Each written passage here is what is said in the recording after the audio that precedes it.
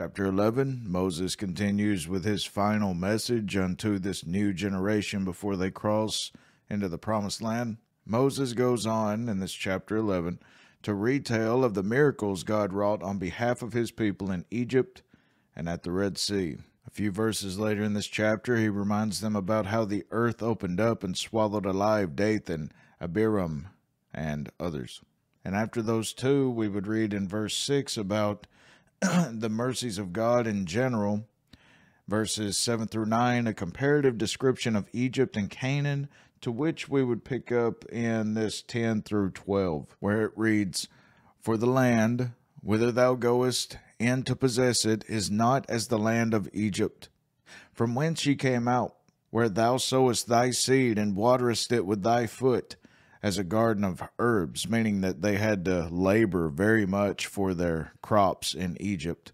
But the land, whither ye go to possess it, in Canaan is a land of hills and valleys, and drinketh water of the rain of heaven. As you'll see right here, an aerial view of the two. You have Egypt over here, where there's only green around, there's only growth around the Nile. But then if you look over here in the land of Canaan, which would become Israel, it's all green, basically. Every bit of it has some kind of green near every spot. Adam Clarke commented, Rain scarcely ever falls in Egypt, and God supplies the lack of it by the inundations of the Nile.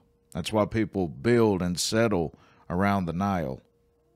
But in Judea, it is different, as there they have their proper seasons of rain. And while we have this map, I'll just point these out. This is the area that Jesus resided for the majority of his ministry. Here you see the Sea of Galilee.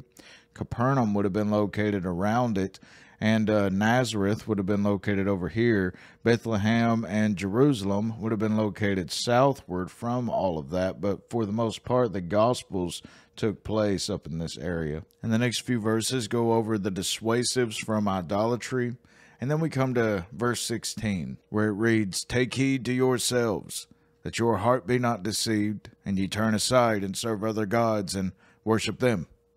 And then the Lord's wrath be kindled against you, and he shut up the heaven that there be no rain, and that the land yield not her fruit, unless ye perish quickly from off the good land which the Lord giveth thee. So, right here, we're reading about how they're warned before they go into the promised land, even they're warned about what will happen if they fall into idolatry, and how a drought and famine would come upon this beautiful land if they fell into idolatry.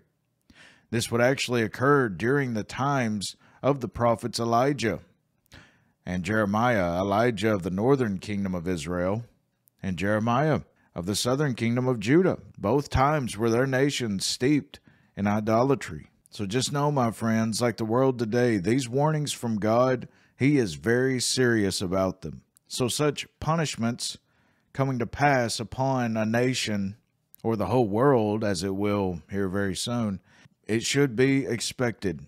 It has been foretold what will happen, and uh, the world has almost just reached its peak of iniquity. Moving on with the next verse, 17, the words of God are to be laid up in the hearts, to be for a sign on their hands, foreheads, gates, etc., taught to their children, made the subject of frequent conversation, to the end that their days may be multiplied. And if obedient, God shall give them possession of the land, and not one of their enemies shall be able to withstand them.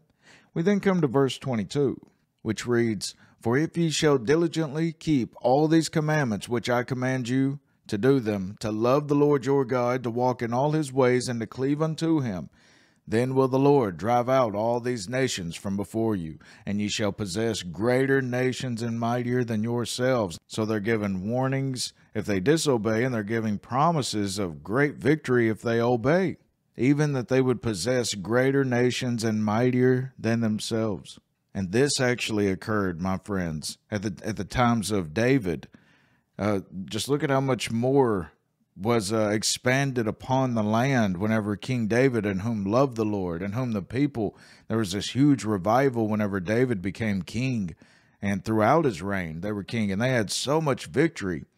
But then, shortly after, his son Solomon took the reign, and his son Solomon, the kingdom remained for much of it to be that expanded mainly because the Lord loved David so much. But Solomon, he fell into idolatry and it quickly became reduced down to this very, very small size.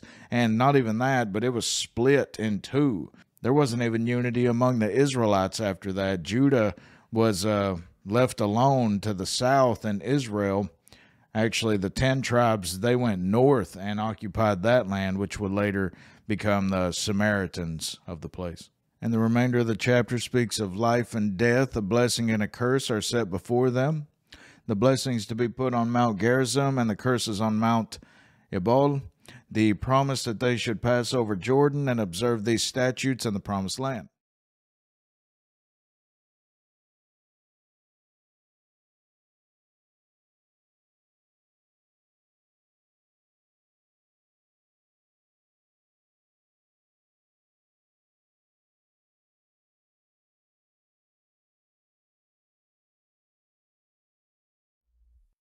Chapter 11 Therefore thou shalt love the Lord thy God, and keep his charge and his statutes and his judgments and his commandments alway.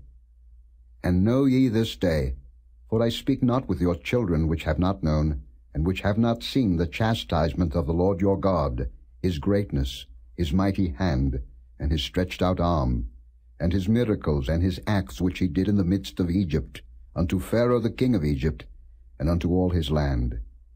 And what he did unto the army of Egypt, unto their horses, and to their chariots, how he made the water of the Red Sea to overflow them, as they pursued after you, and how the Lord hath destroyed them unto this day, and what he did unto you in the wilderness, until ye came into this place, and what he did unto Dathan and Abiram, the sons of Eliab, the son of Reuben, how the earth opened her mouth and swallowed them up, and their households, and their tents, and all the substance that was in their possession in the midst of all Israel.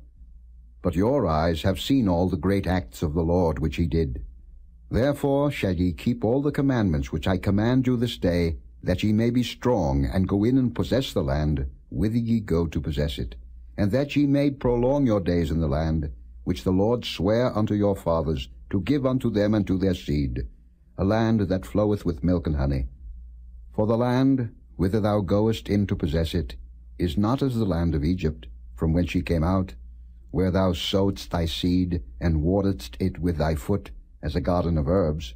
But the land, whither ye go to possess it, is a land of hills and valleys, and drinketh water of the rain of heaven, a land which the Lord thy God careth for.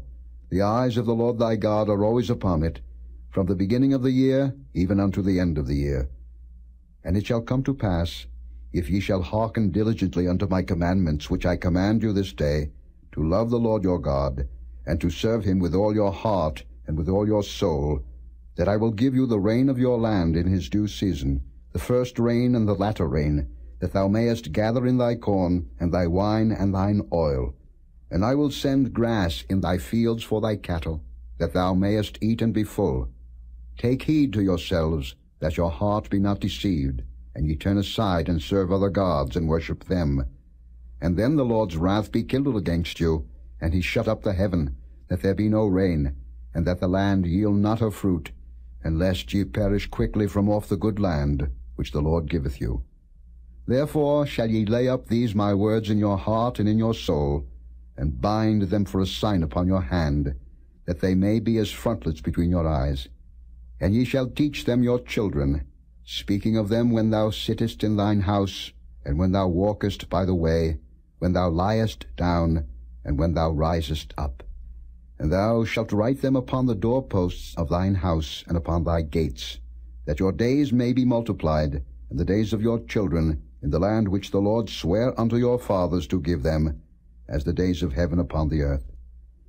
For if ye shall diligently keep all these commandments which I command you, to do them, to love the Lord your God, to walk in all his ways, and to cleave unto him, then will the Lord drive out all these nations from before you, and ye shall possess greater nations and mightier than yourselves. Every place whereon the soles of your feet shall tread shall be yours. From the wilderness and Lebanon, from the river, the river Euphrates, even unto the uttermost sea shall your coast be. There shall no man be able to stand before you, For the Lord your God shall lay the fear of you and the dread of you upon all the land that ye shall tread upon, as he hath said unto you. Behold, I set before you this day a blessing and a curse. A blessing if ye obey the commandments of the Lord your God, which I command you this day, and a curse if ye will not obey the commandments of the Lord your God, but turn aside out of the way which I command you this day, to go after other gods, which ye have not known.